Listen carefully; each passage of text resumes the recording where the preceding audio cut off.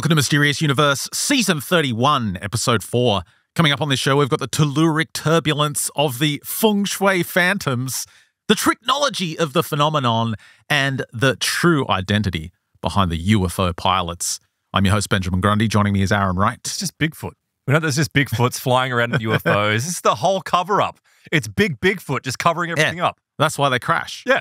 Yeah, because they're idiots. They have He's no idea how to moron. drive. Yeah. He doesn't know what he's doing, just yanks the joystick. Like he's reaching for peanuts and he just yanks the joystick. Or he drops the peanuts underneath the seat. He's reaching around under the seat, just slams into something. I can't believe we're doing a show. Why? I, I, haven't slept in three days. I don't know what's wrong with me. I know what's wrong with you. What's wrong with me? And this will become quite apparent on the show. I think it's this building. And you've said, oh, What? Aaron, you're crazy. Like, the, the energy in this building It is is off. way off. Like it's really, really way off. And I've started to notice it more and more and more and more and more. And what's fascinating is, right, it's coinciding with we've just had this massive rain bomb. Like they call it, I know that like it's kind of a sensation. Dude, it's been 100% humidity for four weeks straight. Well, so for this show, I'm going to be going into the idea that uh, you can have the manifestation of phantom animals, big cats, black dogs, uh, those sorts of things like fey creatures uh, at specific turbulent points around the world. It goes beyond the idea of, um, you know, like window areas, the John Keel kind of stuff. It's more about feng shui, right? It's about the movement of energy. What's this got to do with us barely Well, being able to do a show? My point is, right, is, and I'll get into this in the plus extension, but essentially it turns out that in certain areas that sit in, in gullies, this building sits in a gully. Oh, Now, where it sits as well, right, it just so happens that we'd had, when all this rain fell, Mm. there is this straight line drain that runs directly parallel to our building, directly parallel. Now, where you have a gully and then a straight line intercepting it, which I will explain in, in how it relates to geometry later on, uh, geomancy later on. But essentially, whenever that happens and there's water moving through it, it completely throws off all the energy. And people start reporting that they're feeling ill. People start having sleep disturbances. I'm like, that's this building. And you, for the past three days, have been a sleep train wreck. yeah, I've never felt like this before. I don't know what's wrong with me. I know. I know. but I It's but I'm not science. I know. I'm, I'm not going to sleep in the building. I'm having Doesn't matter. I It's can't sleep at home. it's exposure to it. It's exposure to that. It completely disrupts everything. And according to these anecdotal reports, it's upsetting people and it causes the manifestation of this weird energy. you know what I can't stop thinking about? What? Remember that guy? Was it in the 60s or 70s? And he couldn't sleep one night. He was like, that was weird. Couldn't sleep. And then the next night, he couldn't sleep. And then the third night, he couldn't sleep. Are you talking about the guy that died from not being able to sleep? And then gradually, yeah, he he died after what was 20 or 30 days of not being able to sleep. Well, was- shorter than that. And this was the guy that led to the discovery of prion disease. I was thinking about just this this they morning. cracked open his skull and it was full of all these holes from prions. I was. I can't stop that. thinking about him. Yeah, see, and so that's the other thing, right? So it's generating intrusive thoughts and Oh. mild anxieties, and I reckon it's this building. And it actually, well, we haven't seen any phantom black cats yet, but we will in this episode. But it's to do with these strange alleged energies right. and currents. Will it make me feel better? it won't make you feel better, but at least you'll understand what's going on. All right. So, what have you got coming up? Well, I managed to scrounge together a segment because I was working on all this other stuff, but my brain's just fried because I've I, I've just been sleeping so badly.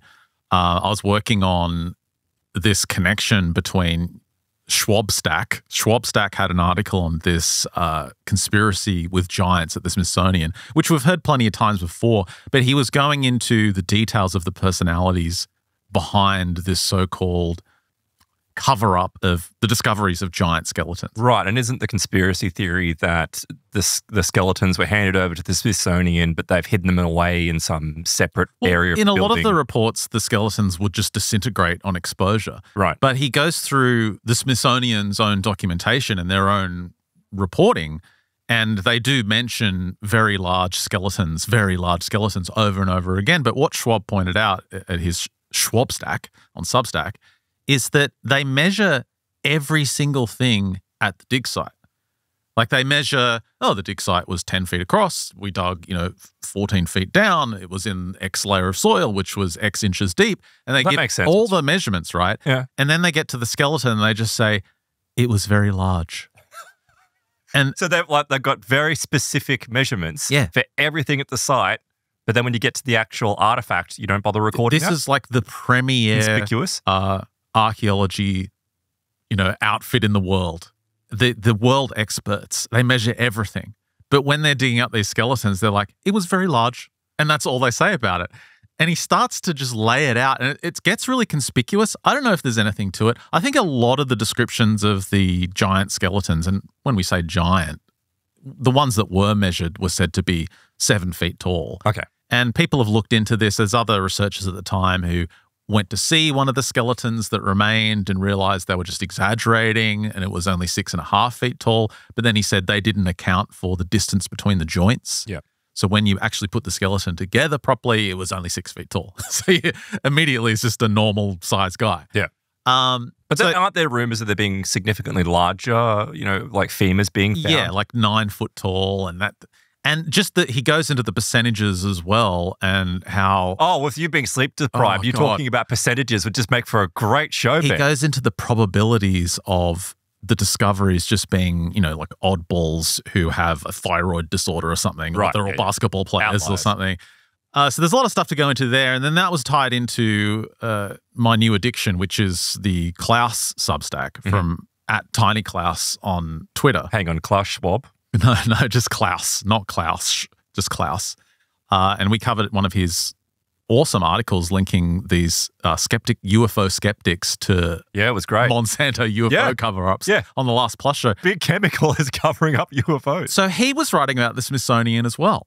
And he tied in the Smithsonian connection to the CIA, which is becoming more and more understood. There was a great book that came out last year where the Smithsonian was approached to do, uh, it was a bird study, like a bird study on this remote island somewhere. And the whole thing ended up being a, uh, a big like intelligence gathering op, op for the CIA. So where was the island? Somewhere in the South China I- Sea. I can't remember where it was, but I, I was reading through all this. But I, it got to the point where to explain all these connections and put the whole thing together, I needed to take everyone through the entire story of Yamashita's gold Yeah, when you said that, I'm like, good night, Ben. I'll see you tomorrow. and then explain like the the Filipino, oh, it's not stolen, lady. and just, I, I, oh my God. It was like oh, a, Oh, I love her though. We should talk about her Dude, more. it was like 11 o'clock at night, and I had already tweeted the show's going to be late. And I just thought, I cannot do this. Like, my brain is, and I still, I just didn't sleep. You're not going to sleep tonight either, so you're going to be worrying about dying. So-. And then I felt even worse because this book I ordered specifically for Black History Month, this one has not arrived. But I thought I'm going to do it anyway. haven't I read this? Chariots of the Black Gods, the UFO reality and the alien hoax Isn't by this- Wesley Muhammad. Isn't this linked to uh, Nation of Islam? Yeah, Wesley, because all these guys with Muhammad as a last name, they're usually Nation of Islam because they all change their names. But uh, yeah, this guy, I started to look into this guy. The book's on order. It is uh, on its way. It's like $70 or something, Aaron, but don't worry, it's claimable. Um, that's it's this guy here. Here he is, Dr. Wesley Muhammad, student minister brother. So he's in the, uh, I think the, the like the lead organization that runs the Nation of Islam. Right. He sits on the board or whatever. I don't know what you call it.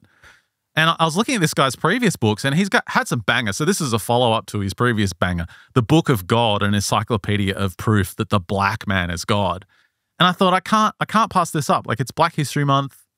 I've got this amazing content because I realized uh, I don't know if reaching out to the writings of a uh, highly controversial group is really celebrating Black History Month. well, let's read the description. This is in our wheelhouse. In 2024, he said the UFO conversation is uh, it no longer revolves around the question, do they exist? I agree with him. That question is now outdated because the government has finally come clean on the matter. The urgent question that now needs answering for the public is who's flying them and what are they for? How many times have I been saying this on the show? Mm, mm.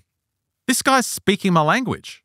I've been harping on this time and time again. Who cares about these craft? We want to know who's in them. But that's nothing revolutionary. I think that's for like the natural progression for people that do go through this process of realizing that not only UFO is real, but then obviously they have to be piloted by something. That's just a natural progression of people that start, you know, losing their skepticism. Why aren't these questions being asked? Why are we still Well, are, focused on are they real? What are they? Blah blah. What are you blah, blah. talking about? Since the 19 what 50s, you've I mean, right now, like in Yeah, Congress, like Grusch these describing three bodies that have been retrieved from Crash Craft. He's not describing bodies. Who He's saying describing biological matter. entities? They're dancing around what we really want to know. And here we have Wesley Muhammad, PhD, totally based, asking the real questions. He says the extraterrestrial hypothesis is a deliberate government fabrication. The reptilians, the Greys, and the Nordics are all disinformation devices used to conceal from the world who is really flying these advanced craft. Is it so black men? who is who is indeed flying these advanced craft? I don't even need the guy's book. He's got a YouTube channel. Are you ready for Oh, I'm ready. the wisdom of, yeah, of street knowledge, Aaron? Mhm. Are you ready? I'm ready. The last, best kept secret of the UFO phenomenon is the Asiatic blackness of the pilots. That's right. Ufology, the study of the UFO phenomenon, is a quietly but demonstrably racist field of study. Most of the mm-hmm. major voices of this discipline are low key white supremacists. Maybe That's many right. of them don't even know it. Ufologists accuse the government of cover up, and they are correct. However, both the government and the ufologists are party to the cover up of the black pilots of these craft. The so called What is that? terrestrial hypothesis or alien theory is nothing less than New Age racial It's racist, Aaron. I like that there's always a guy in the front. I don't know if they pay him, but there's always a guy in the front who's like, that's right. that's right.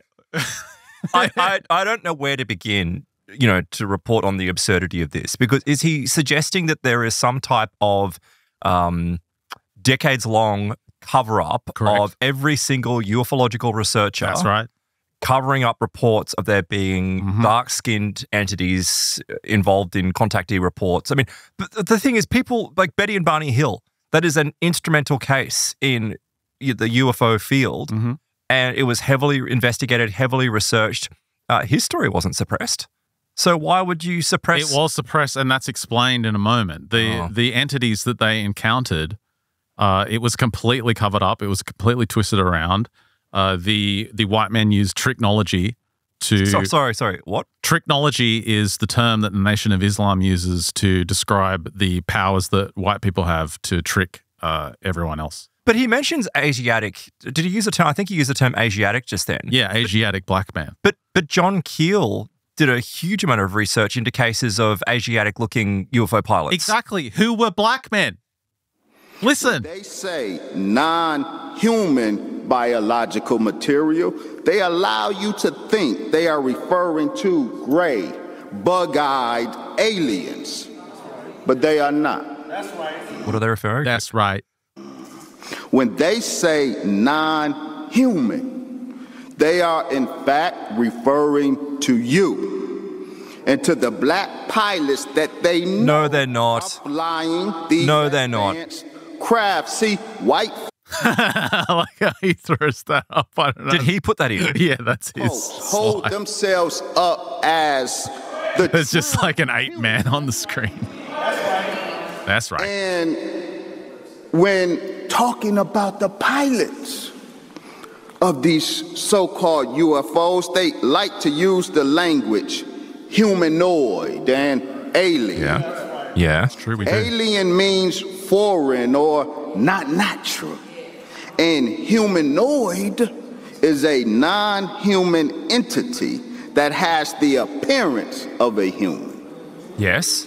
Human comes from the Latin word humanus, meaning man of the earth.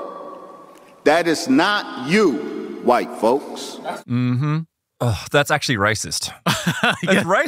think that It is a nation of Islam. I don't think you are prepared for what we're Well, I getting never into. because I've never gone into any great detail because I just uh, in fleeting things I've seen, they're just often spewing nonsense that you know any. I I have black friends that are go, these people are insane. Well, we did New Zealanders last week, so, So, we're, let's we're go. doing Nation of Islam Right. on this episode. All right. Uh, so he also reveals uh, the general gist of this, in case you're not following what he's talking about, is that it, it generally the the UFO UFO nauts are black men, and uh, because the whole cover up is a racist cover up, they're called humanoids. It's like a racist thing. Like when we say gray humanoids, we're saying that because they're not um, they're not actually humanoids. But they're just black men. Do you know where his argument though would fall down? Is that oh, Tell me where. I mean, well, there's there's a multitudes of locations, but I'm just talking about right in the context of of this particular phenomena, right?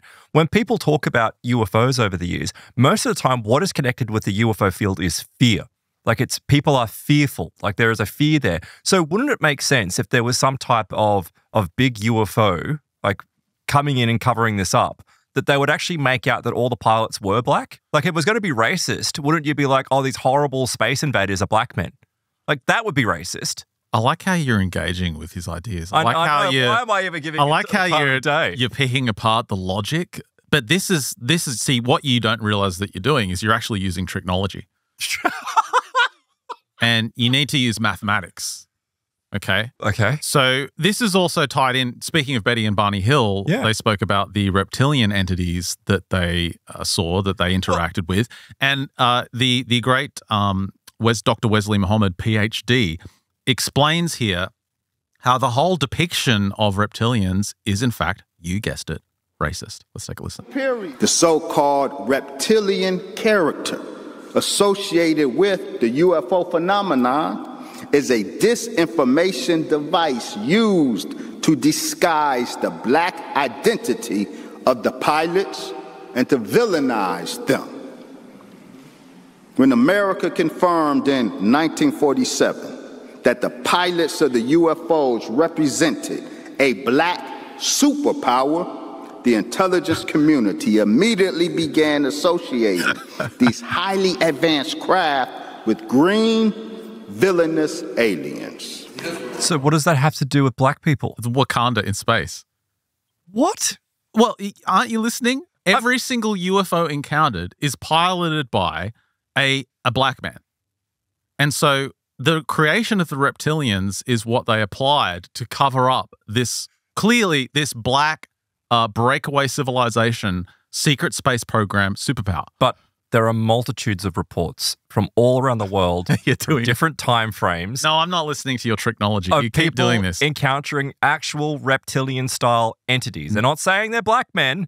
They're not going, oh, it was a black guy with maybe scales. Like that. No, I'm seeing green skinned reptilian Yeah, creatures. So that's the tricknology at work. They're actually applying tricknology to the reports to twist it around from the truth. Can we just address the saucy pose this reptilian is in on the screen, by the way? What is he doing? There's like a, a black black spaceman in a white suit, but there's this reptilian in like a paint me like a French whore pose sitting next to him. I don't understand this. What is that from, that image? Like a 1970s Well, this is the thing. That's, porno or that's, that's not even AI created. So wherever he got that, the mind boggles. All of it is concoction and fabrication. The grays, the greens, the Nordic whites, all of them are devices created and used to keep you as far from the truth of the black reality of this technology. I started to think about this with the Greys. Like, wh- where does he explain the imagery of the Greys? Like, where does this come from? Is that all he's got? Like, that this is just some kind of um, tricknology? It's some kind of grand cover up that every single report of entities is is not only real in that it happened, but the, there's the added cover up of twisting around the description of the entities. I'm very uncomfortable with this, and not because of the race. that doesn't bother me. It's the stupidity with this. Like, this is absolute insanity. I should have done the Yamashita's gold. Yes. I couldn't. I it's Black History Month. You, you were along for the ride.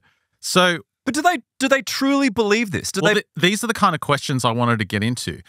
What I was asking when I started watching this, yeah, it's funny, it's hilarious, but I, I wanted like it to can't underst- be real? I can't, yeah, I wanted to understand: is this something that's ubiquitous across the nation of Islam? Like, do they all believe this? Because he's got quite a big crowd there, including the aha guy in the front row.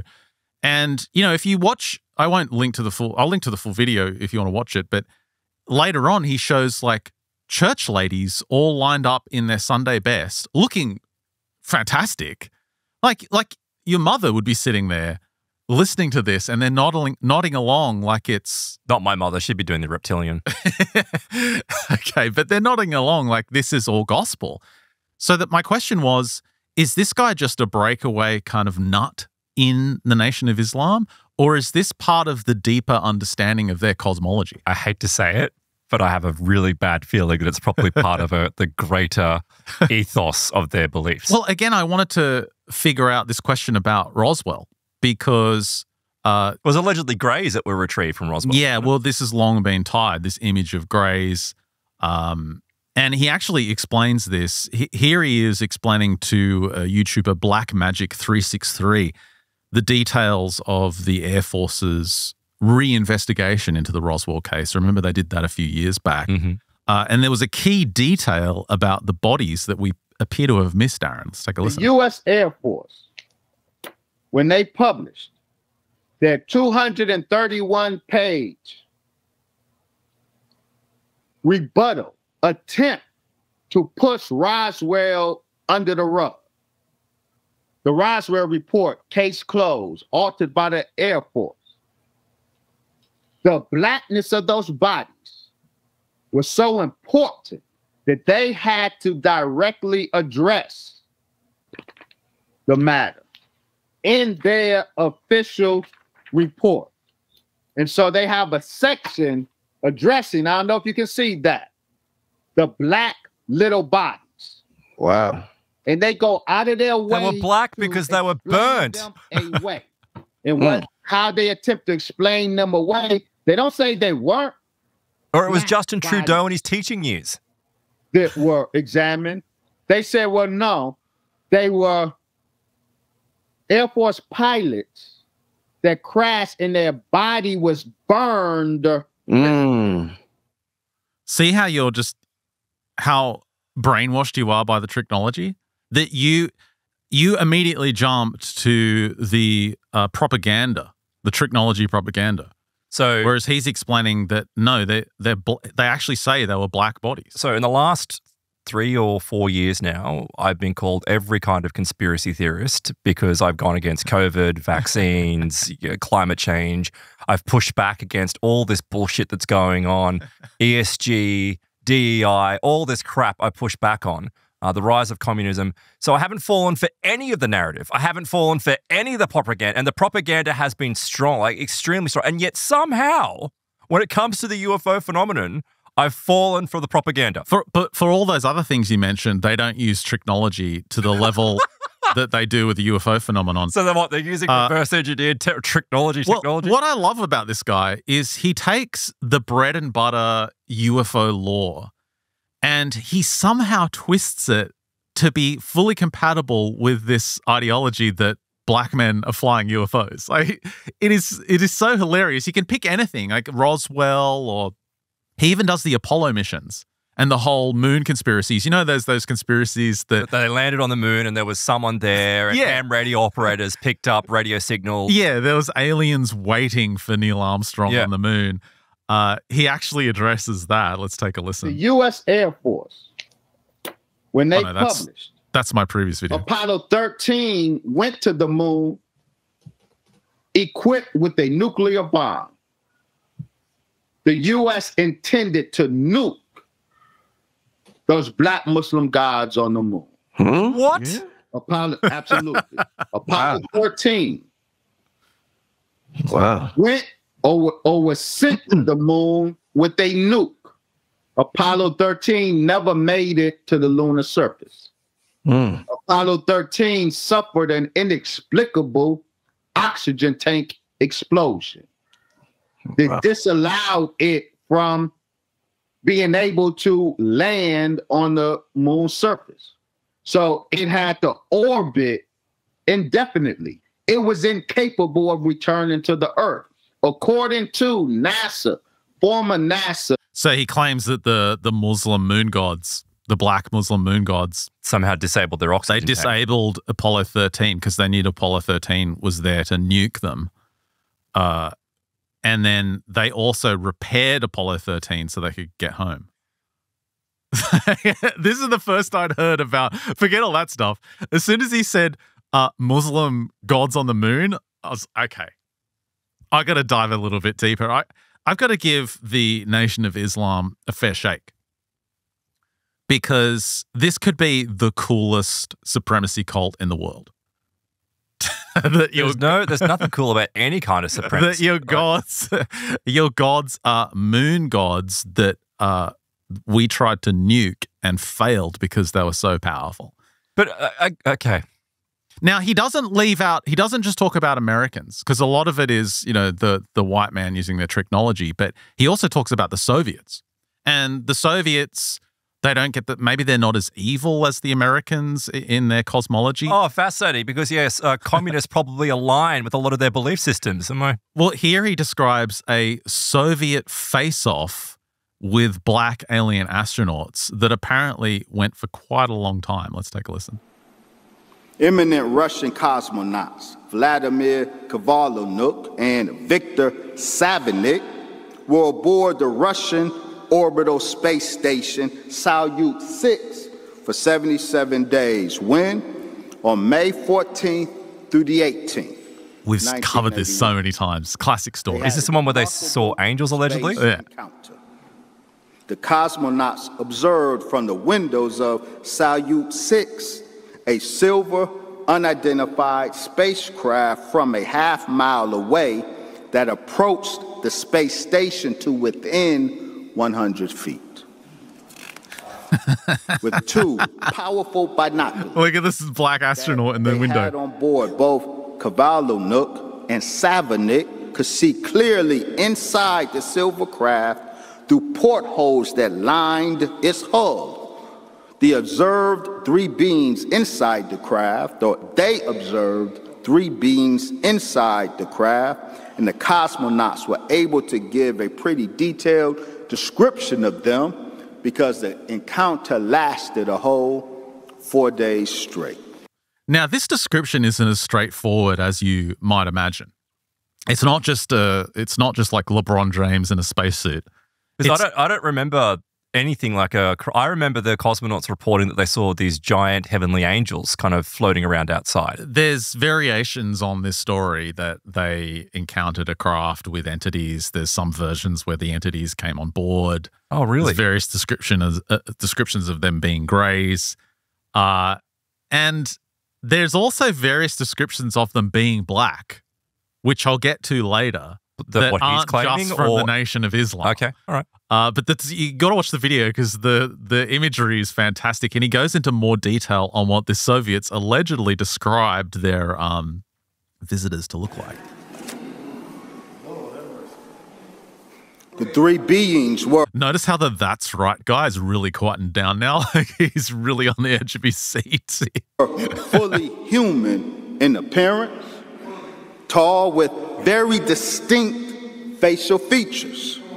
Their skin was brown like an East Indian. Their eyes were slanted like Japanese, but the iris was a bright blue. The nose was straight. This description given of the beings encountered out in space by the Russian cosmonauts may strike you as remarkably unlikely or indeed alien. but it is neither. Rather, it is a What distinctly is that image on the left?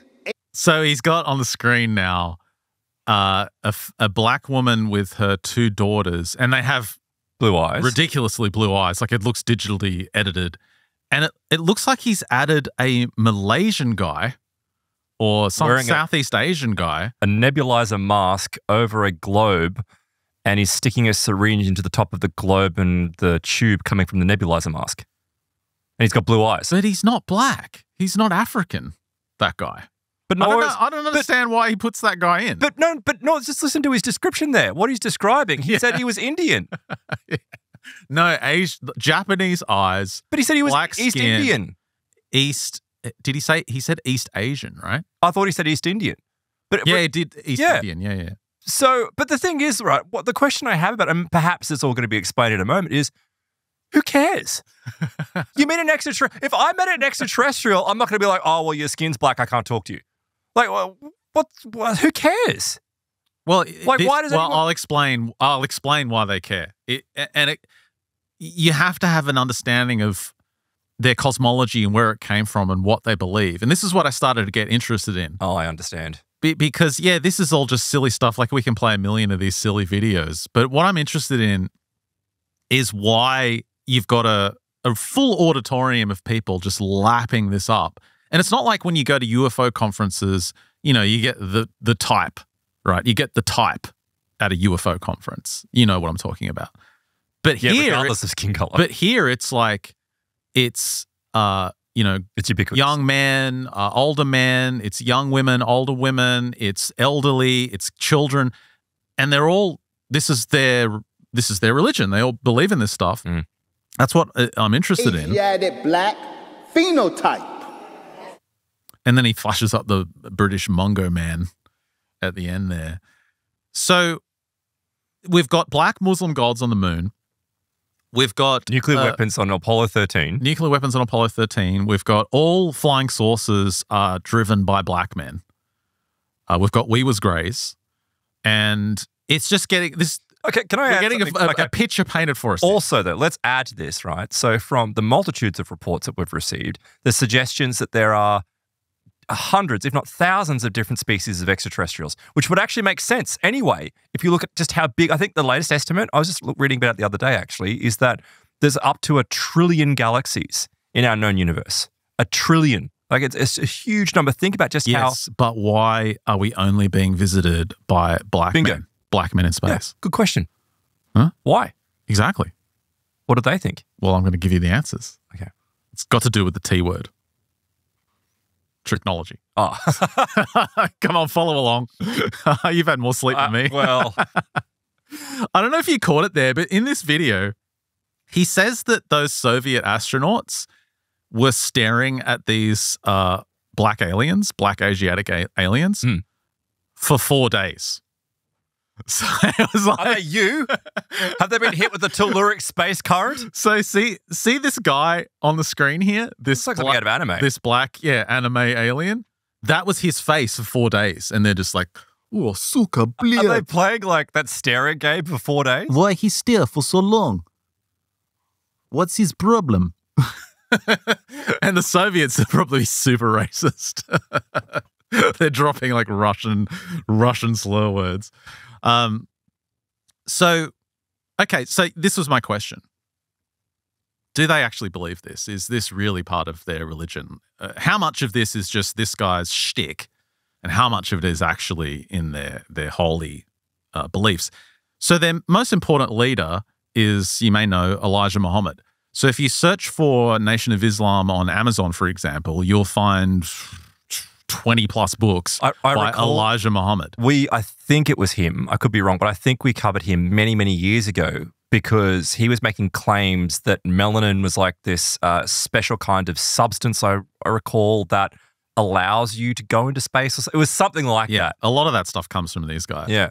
So this guy, uh, his real name was Elijah Robert Poole. And that, yeah, they all changed their name to Muhammad or some other Islamic sounding name. But he was born in Georgia in 1897. And he was in Detroit in the early 1920s and just working odd jobs. You know, he worked at a nut factory, worked at a car factory, did, did a bunch of odd jobs. And then, of course, the Great Depression hit uh, in 1929. And it was a disaster, obviously, Of for course. everyone. Uh, it was a disaster for the black community, obviously, as well in Detroit. They lost all their jobs, and it was, as you can imagine, extremely difficult. But according to the story, in 1930, his life went through a miraculous um, transformation. And um, I actually should I should bring up an image of the guy, this Elijah, because you'll see his face. Like you start looking up these guys, he's he's kind of like their main, well, not their main prophet, but he's one of the most important individuals in the whole religion Yeah. Yeah. this guy. Um, so yeah, in 1930, and this is, I remember the last time we spoke about this on the show, it was in the context of ascended masters and Yes. theosophy, Mm. because he claimed in 1930 this mysterious fair skinned man, fair skinned man appeared in Detroit and he took the guise of a door to door salesman. He was going around and he was in the black neighborhood where uh, this Elijah Robert Poole lived. He was selling silks. He was selling different, you know, different clothing items, different fabrics, raincoats. This was all in Paradise Valley, this black neighborhood in Detroit. And it quickly became clear that this man was not to be regarded as simply an itinerant peddler. On the contrary, this was an individual of the greatest magnitude, one who brought and indeed embodied the message of liberation for the blacks. Maintaining that he came from the holy city of Mecca, he identified himself as Master Fard Muhammad. So, if you're unfamiliar with the whole uh, theosophy framework, there's the idea that these One of the ascended masters. ascended masters, these um, high spiritually adept individuals will occasionally insert themselves into human society and uh, stir up like a revolutionary spiritual change in the community, whatever community they're involved with. And then they'll disappear back to the mountains of Tibet or, you know, the Shambhala or whatever mystical place they're from. And I remember last time we looked at this, this guy, um, their original prophet, this fair skinned man, Master Fard Muhammad, he had a similar situation because he disappeared in 1936. The government, the American government, spent like tens of thousands of dollars, the equivalent of millions back then, searching for the guy in the 1940s, the 1950s. There's FBI files on him. There's uh, books I was downloading, which are just the FBI files on the guy. And they were trying to find him everywhere because he was the leader of the Nation of Islam. He had vanished. No one knows where he is. No one knows where he's disappeared to. He hasn't been seen since he vanished in 1936. He's just gone, dropped off the face of the earth. Now, uh, there's an image I have of him which puts it into context. This is another book by Willie Muhammad, Understanding Master Fard Muhammad. And there's a UFO in the background. so I started to realize, yeah, this whole UFO thing is is tied very closely into all of this. Now, what's what's weird is this is the 1930s. This is before It's UFOs. yeah, it's early for all this kind of stuff. But it it does fit with some of the uh, the sci-fi that was kind of Not really. I mean, it wasn't anywhere as as intense as what this is. I mean, you've got science fiction novels, like you've got, but no one's describing flying saucers. Flying saucers isn't a thing no, it's not. until over a decade later. Mm. And he assured his followers, this guy, this um, Master Fard, that he was their brother. Even though he didn't look like them, you can see he's clearly maybe a little bit Caucasian looking. Um, he's definitely paler. He's not African. He said he was their brother and they would attain freedom, justice, and equality by following him. His purpose, he said, was to awaken the black nation to its wonderful potential in a world then dominated by the white, blue eyed devils. That's you. He taught his followers about the deceptive nature of whites and encouraged them to embrace what he portrayed as the glorious history of black Afro Asia. As the destiny of that history came to be realized, so too would be the uh, evil history of the white race and everything it embodied. So I'm getting a lot of this from uh, another book I came across called The Children of Ezekiel. It's by Michael Lieb, Aliens, UFOs, The Crisis of Race, and the Advent of End Time. It's a very scholarly book, so I'm not going to quote too much from it, but it was very useful in going into this background. And of course, Ezekiel brings to mind Chariots of the Gods, Yes. Erich von Däniken, the uh, Ezekiel's wheel. Ezekiel's wheel being described as a UFO or reinterpreted as a UFO in the, the modern idea.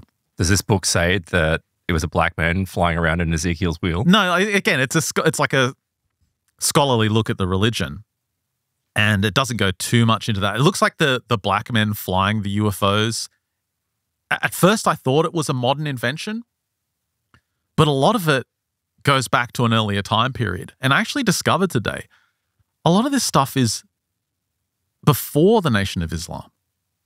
It goes back to an even earlier time period. Yeah, well, I mean, it would make sense that you know these sort of uh, beliefs, because obviously there's always been um, you know race relation contention and all that kind of stuff, and it was worse, you know, especially back then. It was quite bad. Um, so you can understand why there would be people that would be kind of pushing back Mhm. against what was current and these sort of beliefs kind of building and growing. It all makes sense. But this guy was incredible with what he did. It took him maybe two years to completely transform those neighborhoods and basically form a cult following. when you say transform, what did he do? Uh, he not only had the, the, the organization had its own temple within a year, uh, the Temple of Islam. They had ritual, they had worship, they had a university of Islam. Through Master Fard's preachings and as part of the curriculum of their school, converts were taught that they were not Negroes but members of the lost tribe of Shabazz.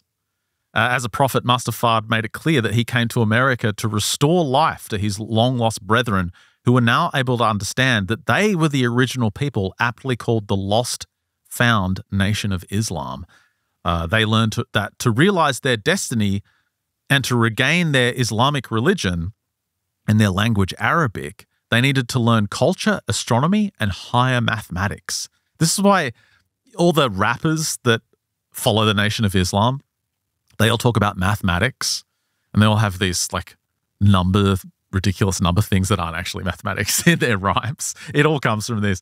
Uh, accordingly, they learned that to realize their destiny, uh, their foundational text was the Quran along with the Bible. They also took literature from Freemasonry. And they agreed to live a pure life and abide by strict dietary and moral codes of behavior.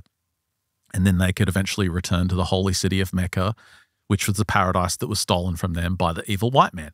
So you can tell this guy must have been incredibly charismatic. Mm. With like to go into a neighborhood and then in a year they have new rituals, a university, a temple, and hundreds of people are going to it.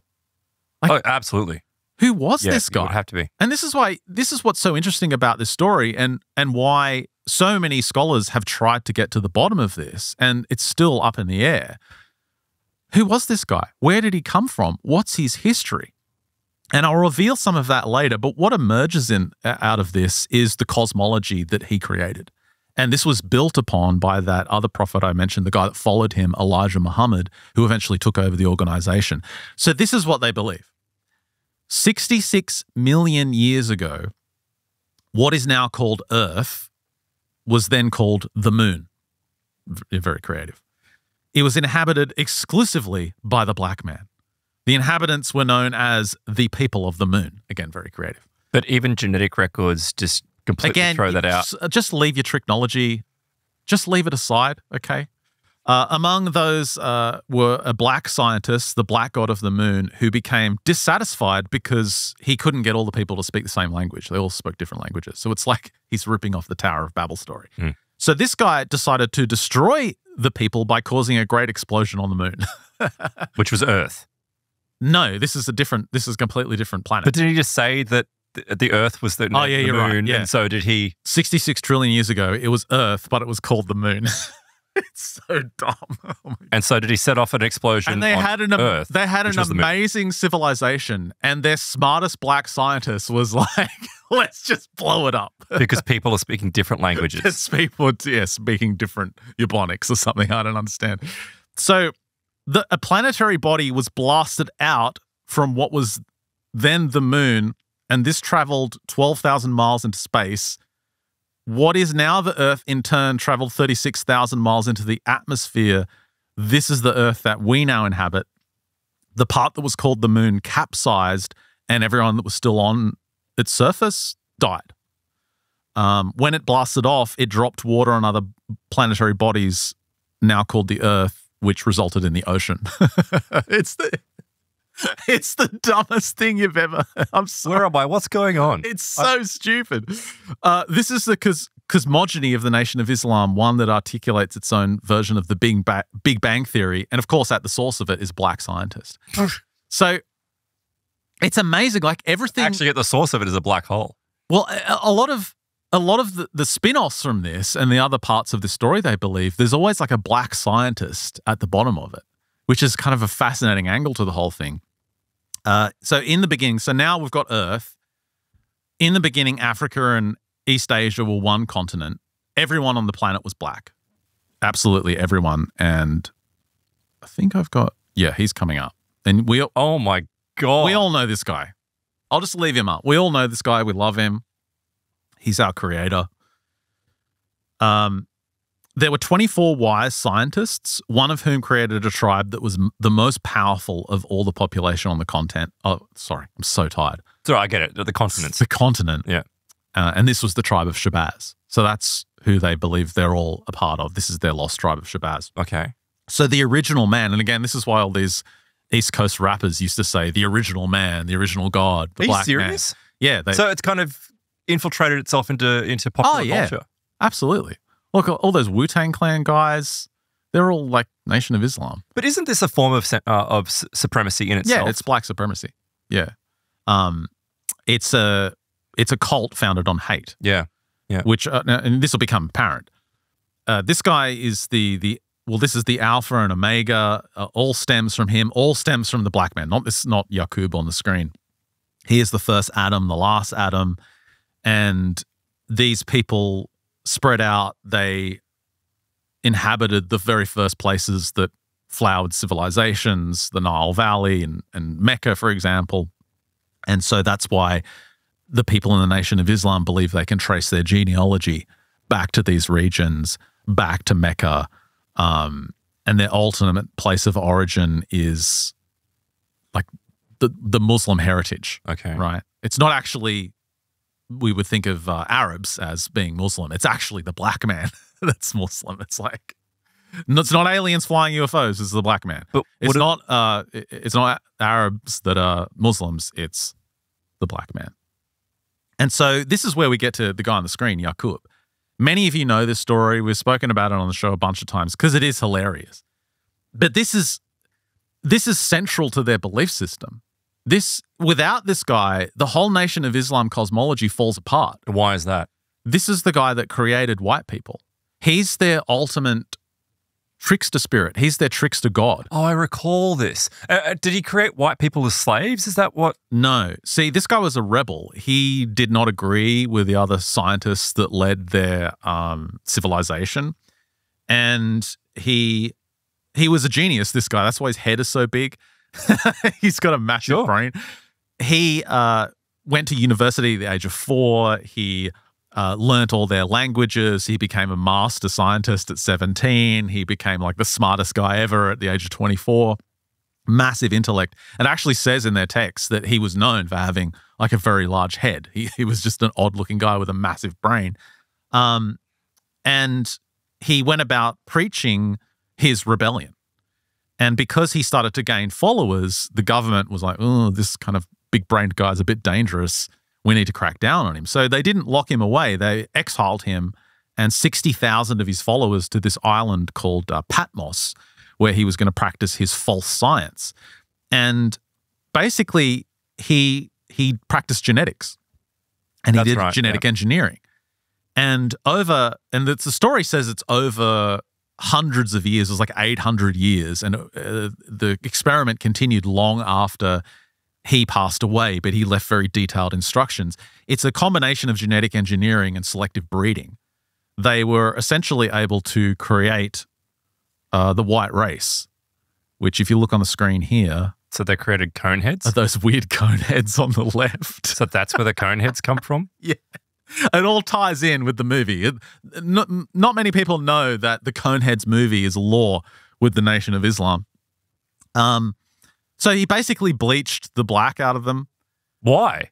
It's, it's, so there were the intervals. The black race gave away to the brown race. The brown race gave way to the red race, and then there was the yellow race, and eventually that was bleached out to the white race. Eight hundred years it took. They were a race of blonde, bleached out, blue eyed devils. These hairy savages walked on all fours, lived in caves and trees, and mated not just with one another, but with any beast they came across.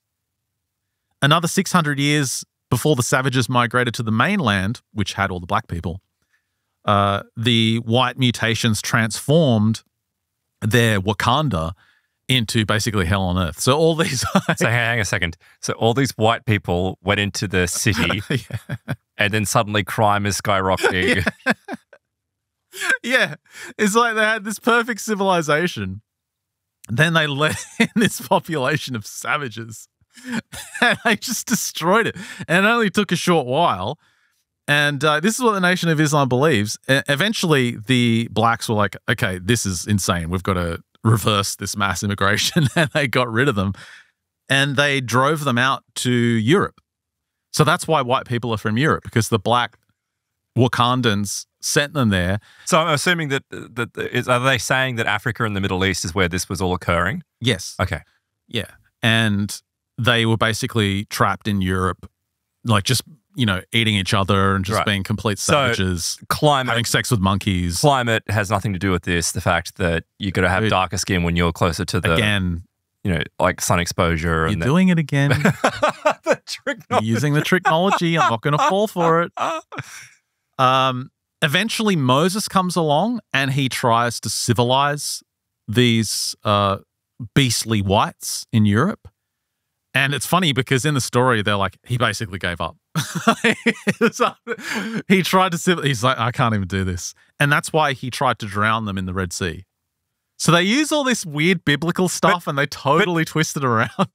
He didn't drown them in the Red Sea. He parted the Red Sea so that the they could escape. Again, you're doing it I'm doing it again. again. Yeah, there you go. Parting you know what? is the You know, forgive me for my horrible technology. Like, just I'm so But sorry. Speaking of the technology, what is so amazing about this, and, and this is pointed out by Michael Lieb uh, in the in the book Children of Ezekiel, he says, um, this whole thing, like Yakub is the trickster spirit. He embodies the um, the archetype of mischief, mischief and deceit. But also Um, wanting to drive up, um, you know, conflict and drama. And, Yeah, there's, there's lies and treachery involved. And it's, remember we spoke about this recently. I can't remember what the topic was, but I think it was when maybe in the last season with, was it Nkrumah's Gold? That Nigerian scam artist? Oh yes, yeah, yeah. And we started to talk about in the African cultures, they really value the trickster di- deity. They value uh, individuals and they have heroes in their stories who can one up their fellow man using wit and trickery. Mm. And we just noted it's like an interesting cultural thing that they place this as a valuable, um, you know, trait. And totally removed from that culture, you have these uh, blacks in Detroit being influenced by this um, strange pale guy who appears out of nowhere, teaching them this Islamic Freemason weird biblical stuff. And at the center of it all, they still have this trickster god. Yeah. Isn't it Which weird? makes you wonder, doesn't it? like, what is the origin Well, of the, that? the thing is, obviously, um, look, believe what you want and congregate with whoever you want and this kind of stuff. But the fact of the matter remains is the stuff that you're talking about to as to any general member of the public, regardless of race, sounds absurd. Like it's completely and utterly absurd. But it's also driven with what appears to be a lot of supremacy, a lot of hate. oh, they hate. they for hate anyone whites. that's different. For anyone that's different. It's not even anyone. It's specifically whites. right. Okay. Well, it's that's, like that's black still hate. supremacy, but they hate whites. They hate Jews as well. Well, there you go. Um, but see what that's this, more recent thing. It was originally like whites were the Right. Well, the my devil. point is though, is that is it not you know interesting that you've got some entity coming along that likes division and drama and you know Yeah. problems that this belief system is kind of core with this entity. Yeah, because I mean, you can you can look at other religions, and obviously, if you're not part of that religion, you find everything they do silly. Like atheists look at Catholicism and go, look at all the silly rituals, and you know, you will look at some Indian tribe and go, look at all their silly rituals. You look at Buddhism and go, look at their silly rituals. If you're not a part of it, it all looks silly and magical and crazy. But the way you can make a judgment on belief systems is their moral values. Yes. It's so simple. Yeah. You can look at what they believe and you can absolutely make a discerned um, judgment. And when at the foundation of their belief system is whites are the devils and the, they're going to die, like we're going to kill them. Is, is that what they actually call it? Yeah, The actual call for the I'll, I'll get to that in a moment. But what's fascinating about this is this idea that this weird scientist guy created white people, this existed before the Nation of Islam. This is a really old belief system. And this was discovered by a researcher. His name's uh, Lawrence W. Levine. He wrote a book called Black Culture and Black Consciousness. And he started to research the old slave tales. Mhm. And he discovered that there were all these tales told that portrayed God as beginning creation with the black race.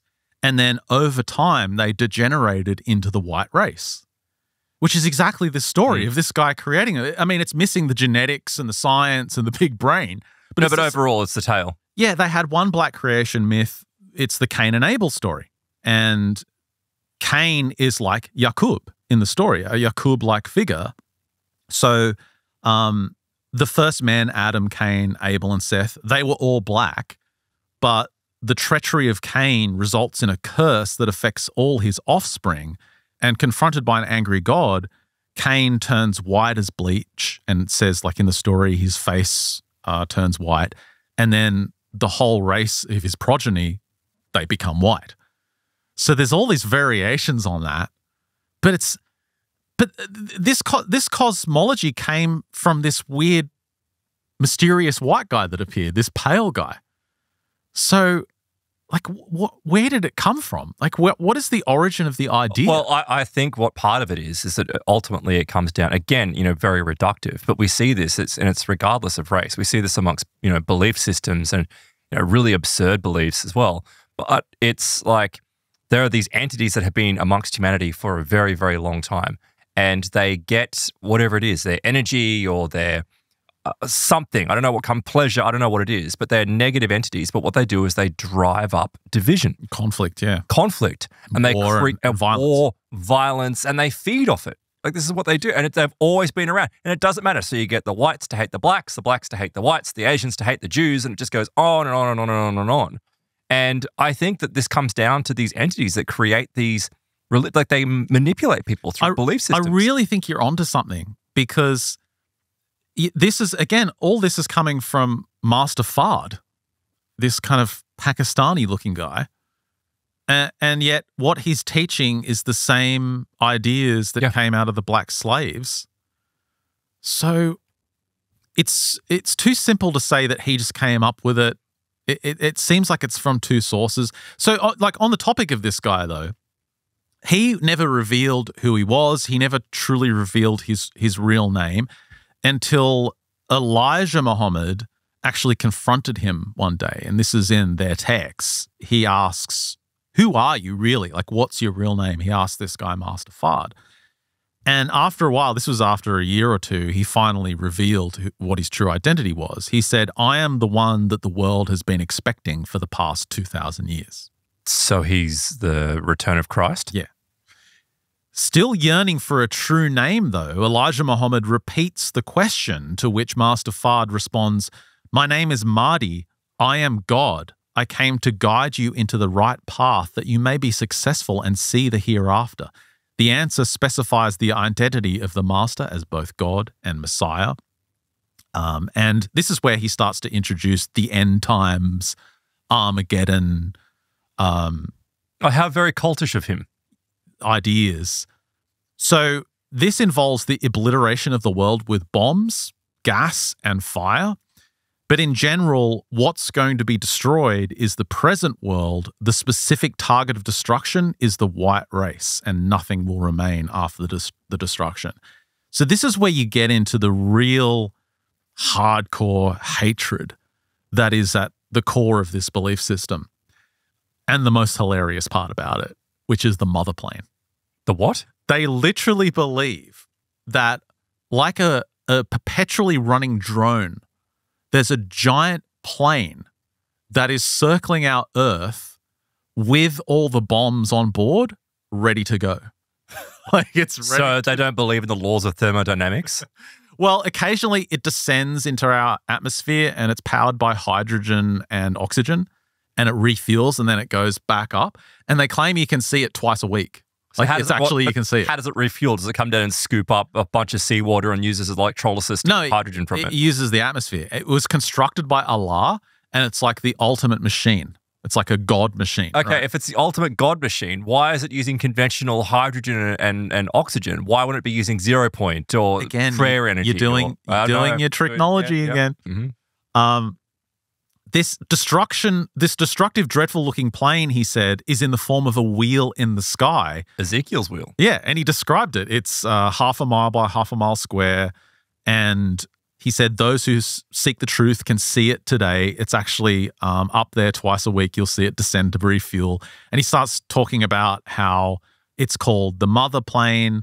Um, the only thing that stands in front of the destruction is Christianity. So they have to destroy Christianity to uh, enable this plan of this mother plane to start bombing the white race and destroying civilization. So hang on, it's it's filled up, let's say, a bunch of uh, hydrogen bombs or nuclear weapons, and it's somehow going to specifically target white people.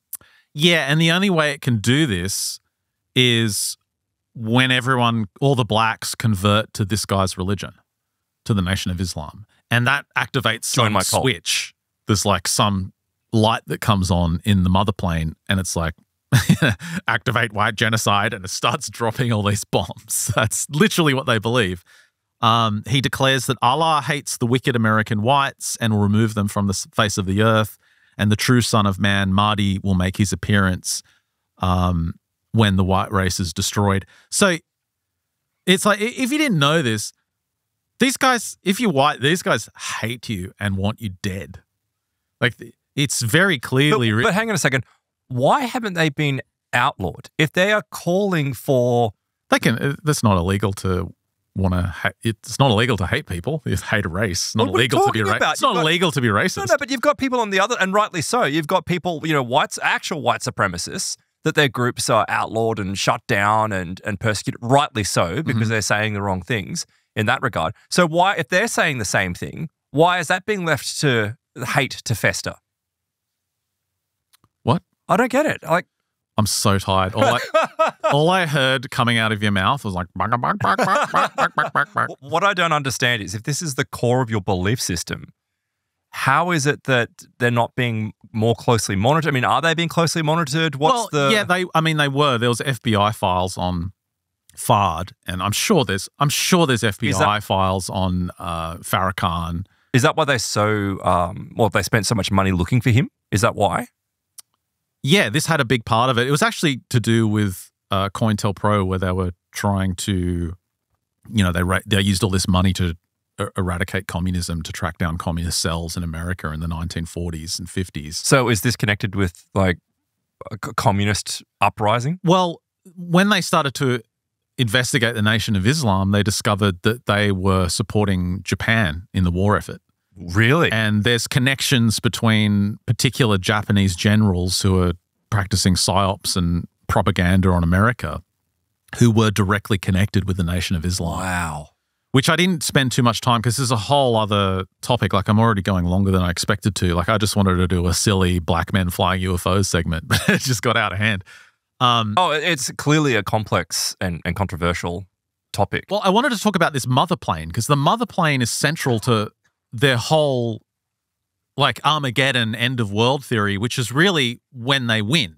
And you've got to understand black pe- black people that are in the Nation of Islam are really excited about what's going on with the whole UFO disclosure thing happening right now because for them it signals that this end is close. Mhm. That this mother plane that has all these other little flying saucers in it, they they literally call baby planes.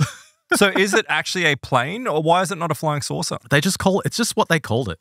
And also, you know, what they use to uh, bolster their claims is that all of this was described in the 1930s before UFOs, before Roswell, before the term flying saucers. I mean, that's probably why they stuck to the term uh, the mother plane because there was no term flying saucer. So if there's all these little flying saucers inside, what, what do they claim? That all the little flying saucers will come out? They've got they they literally call them baby planes. Get the terminology right. Baby planes. I apologize. and they've all got mini nukes on them, and that's what they're going to drop to surgically destroy the white race. Okay, again with my trigonometry, whatever it is, Tricknology. tricknology. um, do they understand that the whole concept of even a suitcase nuke doesn't exist? Like you can't you can't Dude, miniaturize. you're talking about a flying saucer built by Allah. And you're like, oh, that can't exist. Okay. It's built by God. All right. It's, it's built by God to destroy you and your evil blue eyes. Uh, now, Wesley Muhammad, whose videos I featured earlier, he believes that one of these baby planes crashed in Italy in 1933 and was captured by Mussolini. Oh yeah, this was the Italian Roswell. Well, actually, hang on a second. No, no, no. This particular version of the story is like the Italian Roswell. I like how you're already on board. I have to correct it. So yeah, this was in June last year, and this actually came from David Grusch. He uh, revealed in, in sworn testimony to, to Congress about this again, the U.S. program that's obtained multiple flying saucers. But one of the claims was this crash in northern Italy, just outside of Milan, in 1933, and the story goes that it crashed on this farm, and they managed to um, send in uh, Mussolini's secret police and they secured the area and they took it to a nearby hangar. And there's uh, an Italian researcher, what's his name again? Uh, Pinotti. I think I've got an image of him here. Pinotti was featured in the articles yes. last year. Yeah. He's been researching this since, you know, the late 1990s. And he's found all these documents to back up the, the the case. And it was just interesting that Grusch mentioned it as something he'd been told by uh, apparently a member in the someone in the Pentagon had told him about this case. Uh, the story goes that the Italians and Mussolini quickly realized that this was highly advanced, and they thought it was the Germans. So they called up Adolf and said, "Uh, "We might have one of your toys." Nine. And the Nazis went over and they're like, "Dude, that's not ours." And this essentially kickstarted the German Bell program Yep. and their attempts to create exotic craft. And uh, when, of course, after the war, Project Paperclip and its derivatives came in and took all that technology. And so the idea is this was one of the US's first um, retrieved vehicles, Wasn't exotic vehicles. The Ahnenerbe or whatever they're called, weren't they directly involved in the retrieval of that craft? And like it becomes this very convoluted I, story. I had like if I had more than a microsecond sleep in the last three days, I would go through the whole story. But the guy's got the documentation. Uh, a really interesting part in the story is this guy I've got on the screen here. This was the grandfather of a local man. Uh, his name's Marco Negri. He's the guy alive today who said his family had lived in this region, and he's he remembers his grandfather telling him this story about a metallic aircraft without wings that crashed in the 1930s. And this was like a tight family secret. He said it was passed down between your father and son. And he, um, they investigated his his grandfather's background, where he was stationed. Know what it was? It was just a uh, time traveling United Airlines plane. Where's that? Is that a new one? No, Is there a YouTube video on that? No, it was just you know. Well, you know what the the DEI that they've got going at the moment. Yeah, It the was just door, a black lesbian. the door blew off. well, that would actually the Nation of Islam would like that because the retrieved bodies would be black. That's what I'm saying. So they'd be like, Of "Oh, course. this fits." This whole story fits. But according to Marco and his ancestor, they described entities that were recovered, two bodies, but they said they were blonde, around five foot nine, with light hair and, and light colored eyes. So obviously, that last part of the story is, again, technology, because we know that they couldn't have been light skinned. They obviously would have been black men uh, because it was a gift from the black moon gods. Let's get an update on this whole story. We haven't heard from him in a while. But 1933 was a very consequential year in the divine scheme of things. In 1933, Allah sent down, gifted to the enemy, one of the baby planes in Italy. I just love that they call them baby planes. it's like after after 90 years or more, they still haven't updated their terminology eh, be- because it's sacred. It's it's like a holy it's holy scripture. You can't modify it. So baby planes it is. Mother plane full of baby planes. So most UFOs are baby planes with nukes on them piloted by black pilots. I'm sure he's again. I know. I'm doing it again. I know. I'm sure he's going to explain it. But why would God gift the enemy a baby plane? he explains that and it takes him like 90 minutes and the the thing about this guy is you realize he never talks. He's always reading something. Really? Yeah, like even more than us. He's always got a script. Even when he's being interviewed on a podcast, you can tell he's just reading a script from his screen. And I just wonder Yeah. Is there someone in the background pulling the strings there? who's writing it for him. But is there anyone that can back up these claims? Like outside of the Nation of Islam, is there any other sources that have spoken about craft piloted by black entities? Uh, this is a legitimate question. There I are stories. seriously No, there wanna know. are. There are stories though. Like a Flying Saucer Review. Like, yeah, of course. Like, th- there has been stories, but I don't think people have been really focused on skin color. Like, I don't even amongst Well, when it's important. Of course, it's important. But even when, but I, even when racial tension, especially in the '60s, was quite high. I don't think there was anyone deliberately going, "Oh, well, I saw," it," but changing the skin color of the entity that they saw. Well, they were green. They were green, they were grey, they were reptilian. You know, it's they weren't white. I mean, occasionally you've got with the contactee period, yes, you've got the Venusians and the uh, the Nordics, but that's like a whole subclass. It's not like every single report was it's a white humanoid. listen, I did discover someone highly credible, uh, extremely well known in the UFO community, with decades of research uh, under their wing, who was able to back up this claim. Okay. And I haven't put their image in the show notes. I'm an idiot. this person, no, that's the wrong one. Oh my God. Oh man, you just failed. this is me with no sleep, so underprepared. It's Kerry Cassidy, all right? it's Kerry Cassidy. I, I had a picture of her, the really bad picture.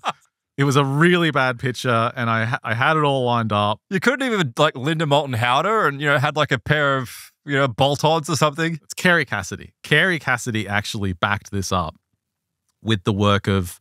Remember the guy that wrote the book on um, what was it called? The Ringmakers of Saturn. Remember that oh, book? Uh, Rick Bergman, yeah, close. Dr. Norman Berggren. Norman Bergman. Yeah. See, Kerry Cassidy from Project Camelot uh, interviewed Berggren, and Berggren was. Uh, uh, he used to work for the company that preceded Lockheed, and then Yes. eventually he worked on the Lockheed missiles. And he wrote that famous book, The Ringmakers of Saturn, in 1986, which had all these speculative ideas on uh, the origin of the rings, rings, and yeah. flying saucers and all that sort of stuff. And so, yeah, he was interviewed back in 2012 by Kerry Cassidy. And I think he actually backs up our guys. Let's take a listen. So are you not positing the idea that they those vehicles contain, you know, beings who are, you know, maybe like us? I think, I think it's, uh, the Apollo flight that the bug and, uh, and Neil were on. Uh, but anyway, there is one image there that showed white people getting off. So people with dark skin getting off, Not dark, black, black skin. really black. Yeah, Were they tall? yes. Very tall. How tall? Do you know? Well, they got out the, uh, the doorway. I don't know how high that is, but I, f- I didn't realize how shockingly No, no, bad his audio is, but he eventually says about seven feet tall. Right, but what he's saying there, right, this is the difference. So, and this is why you know, it's it's so irritating these days when you've got you know, these warring factions of people on on both sides that are trying to control language. Like that's what really pisses me off because what he's talking about there is he's not talking about black in the sense of you being a, uh, an African descended person or having a high level of melanin. He's their skin was actually black, as in like a black humanoid, Like jet black, like jet black, Vanta like our black studio walls. humanoids. It has no because they're not humans. There They're- could be one standing right behind me right, right. now, and I wouldn't see it. exactly. They're not. This is what really ticks me. They're not humans. Like so, they don't have the same type of physiology that we do. So trying to bring race into this I don't know, Aaron. is so Again, frustrating. I think you're missing the zigzag Allah aspect of this. And uh, let's let's quickly cross to Yakub for an update. Zigzag, zig-along. There he is. Why is it six six six? It's like Oh, it's my children, my offspring, my seed, my zera. I love As how it's got like and the sun rises, allow me to speak It's got to you booty music in the of back. the symbolic occult metaphysical meaning of the phrase zigzag zig Allah.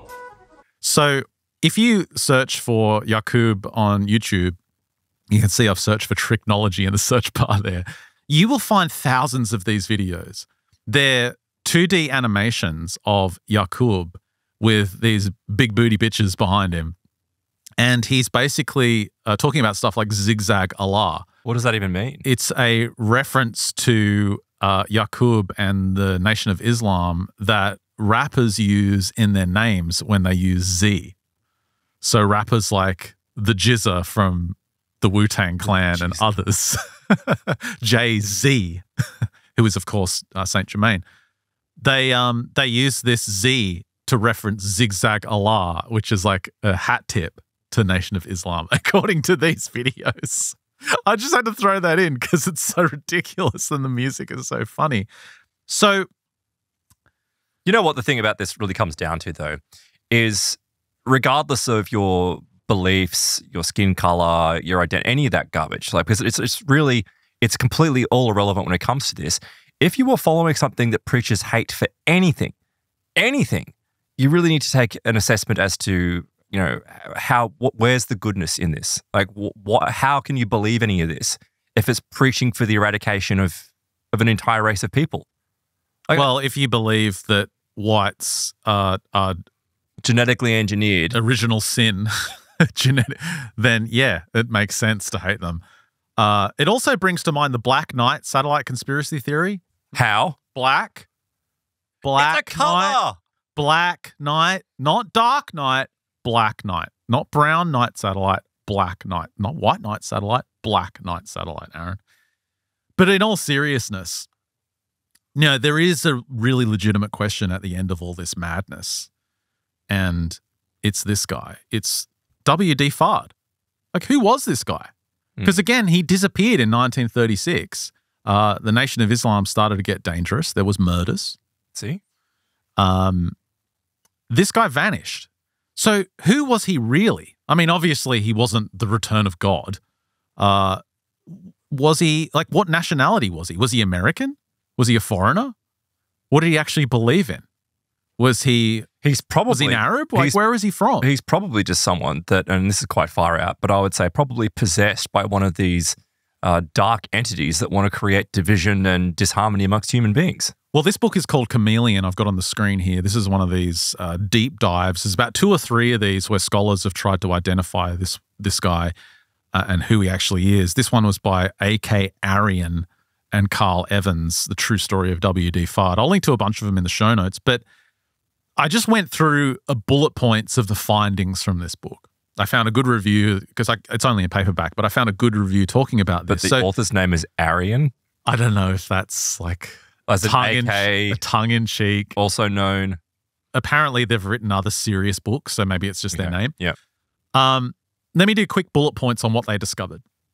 So this guy was born in 1882 in Afghanistan. Okay.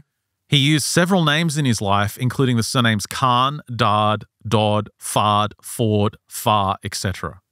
Fard came to America in 1904. He and his family worked as tamale vendors in the states of Washington, Oregon, and Montana. So your religion is based on a tamale vendor who faked his name multiple times. Fard, as Fred or Dard or Dodd, uh, ran a successful food truck in Salem, Oregon, up to 1915. Uh, then he went by the name Wally Dodd Fard in Los Angeles and run a restaurant there. Then he went by the name George Farr and sometimes traveled to San Francisco to buy illegal liquor and drugs during Prohibition. He's then arrested in 1926 for selling bootleg alcohol and arrested again for selling narcotics. Uh, he's sentenced to San Quentin prison. He's then gets he then gets involved in cults like the Moorish Science Temple. He shows up There in you go. Detroit as Wally D. Fard, using other aliases in 1930. He builds up the Nation of Islam. In 1933, he is implicated in a ritual voodoo murder. So I was like, oh, hold up, I got to look up look up this. So this was November of 1932. A Nation of Islam guy named Robert Harris murdered his black tenant James Smith as a human sacrifice to Allah. Mm. According to Harris's confession, Smith voluntarily climbed into a makeshift altar in a back room of Harris's home after Harris promised him that his sacrifice would make him the savior of the world. Harris then stabbed Smith in the heart and struck him over the head with an automobile axle. Lovely. So after this murder, the police basically approached Fard and said, uh, "Look, you need to skip town, or we're going to charge you with something." There's no evidence he was directly in, but it was one of his followers that Yeah, well, committed the crime. Like, talk about stirring up hate. so the police are like, "We're going to, you know, charge you. You got to go. We, we don't want to see you again." So he's like, "All right, I'm going to go." Uh, but he secretly goes back into Detroit wearing a disguise multiple times to direct the, the cult. By 1934, though, he's disappeared um, and he had other aliases named Khan or Walker. But after this, even with the FBI spending all these resources up to the 1950s to try and find him, there's no trace of him ever found again. He's completely gone. Did he? Did he piss someone off? Well, and this- like Jimmy Hoffa. Well, maybe he ended up in like a voodoo pot and was cooking meat or something. Yeah. Because despite his departure and the temple being renamed and all this sort of stuff, um, in 1937, a man named Vernon McQueen was charged with preparing to boil his wife and daughter alive at a gathering of worshippers of Allah. Reporters allege that the police were forced to hide McQueen's wife and child out of fear of reprisals from the other members of the Nation of Islam. These are death entities. I'm, I'm convinced that, you know, when these characters, these charismatic characters who are really charlatans show up in society, and somehow, as you pointed out, Ben, in less than two years, he was able to completely change a city uh, and bring all these people in. Uh, I think that they've got some type of non human intelligence. It's just slightly above us connected to them, driving them. And look what happens. What do they feed on?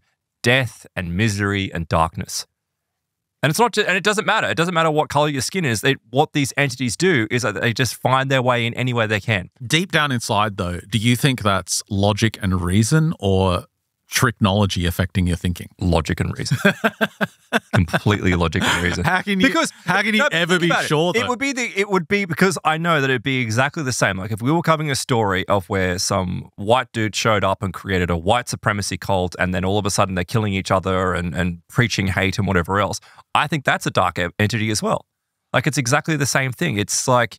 Uh, but human beings are, are capable of such great hatred, but there are these weird elements that are spiritual in effect that suggests to me that this is part of a greater good versus evil war that humanity is stuck in the middle of. Well, I think we can just add it to the list of we was things. It's now we was aliens as well. Uh, black people are the pilots of UFOs, confirmed by Wesley Muhammad, PhD, writer of Chariots of the Black Gods, the UFO Reality, and the Alien Hoax. See, I managed to do a segment of it, and my copy hasn't even arrived yet. Oh, I'm, I'm impressed. Imagine the stuff that's in there when I Do you actually know- read the book. But again, okay, I know I'm doing it again, right? But again, you've got Yakub, who was this, you know, uh, Doc Brown of the times, and he was creating, like, he was bleaching people. Two questions. First of all, if he was bleaching people, well, why wouldn't they just be albino?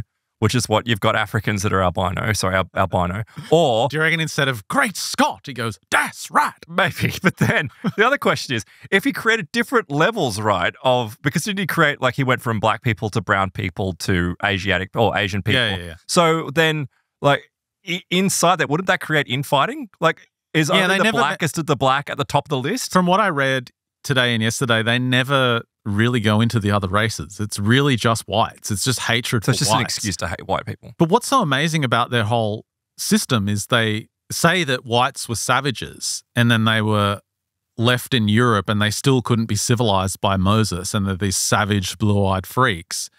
But in the same breath, they say white civilization has to be destroyed. it's like, well, hang on.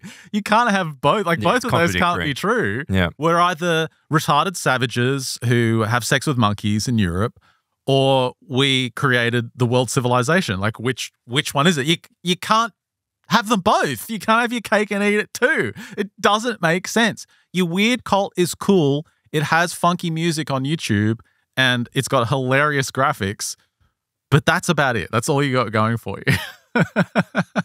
and I love the Soviets staring off the, For the- four days. four day stare off with the the black UFO noughts. But apart from that, uh, I give it three Cults out of three Three retard- retarded big headed scientists out of 10 for your entire belief system.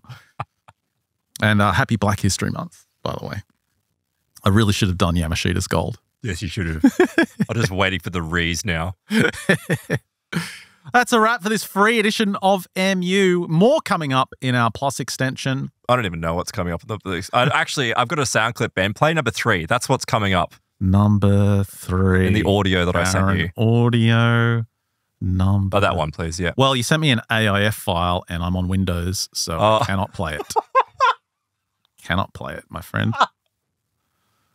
Great. Can I play it in Coffee VLC? In the early hours of the morning. Oh, gr- very nice. Very nice. Yep.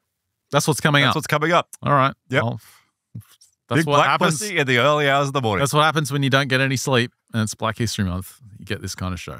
That's a wrap for this free edition of the show. More big black pussy coming up after the break, according to Aaron. according to Aaron. Whoa, I don't want to say anything controversial. It's all Aaron. Uh, mysteriousuniverse.org forward slash plus. Sign up today.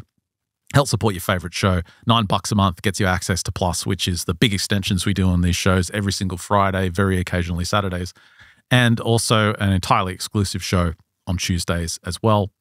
You're also getting uh, a totally ad-free version of the show. You get a higher bitrate MP3, uh, and if you sign up for MU Max, you get access to our entire back catalog as well, going back 16, 17 years. And of course, all our videos are available for our Plus members as well. You just log into the website, you get access to the Friday shows and the Tuesday shows with video as well. That's a wrap for this free edition of the show. Make sure you check it out, mysteriousuniverse.org forward slash plus. Uh, if you're on Plus, stick around for the great stuff after the break. For everyone else, catch you next week.